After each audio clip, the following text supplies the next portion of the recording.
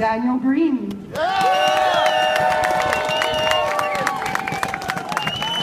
Merci, merci, merci.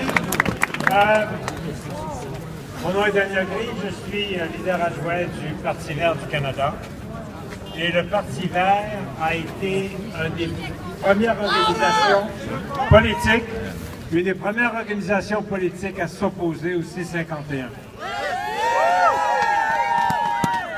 Et une des raisons pourquoi on s'oppose à C-51, parce qu'ayant lu le projet de loi, on donne un pouvoir extraordinaire à l'État pour nous faire taire dans nos droits démocratiques de protester contre des vilaines choses qui risquent d'arriver à ce pays.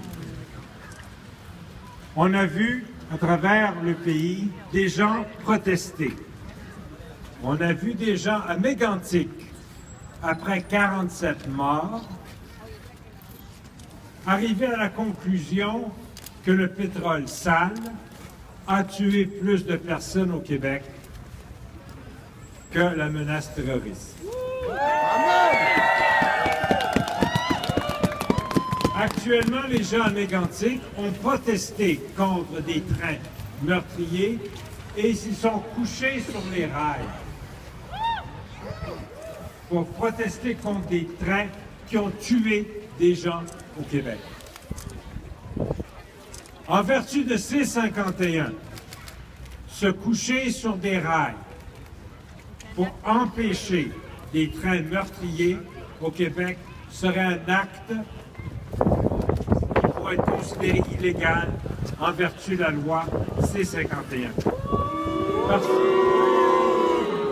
parce qu'un chemin de fer qui transporte du pétrole sale, un pipeline qui transporte du pétrole sale, s'opposer à un train, à une ligne de chemin de fer ou à un pipeline qui transporte des choses dangereuses est illégal parce qu'on occupe une installation nécessaire au développement du Canada.